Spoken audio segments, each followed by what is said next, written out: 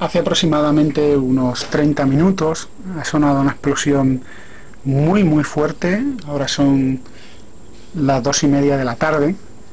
Y bueno, ahora no se ve nada, pero justo en el centro de, la imagen se veía una columna de humo negro.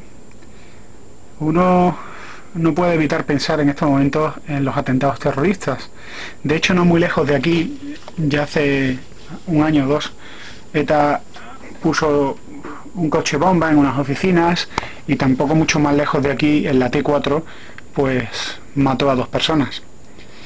Estas son las cosas que, que tiene vivir en España y aunque algunos quieran evitar, omitir o pasar por alto o minimizar el problema del terrorismo, sigue siendo un problema que tenemos. Ahora me conectaré a internet a ver qué es lo que ha ocurrido y esperemos que solo sea un generador que ha explotado. Pero bueno, es inevitable pensar ese tipo de, de cosas.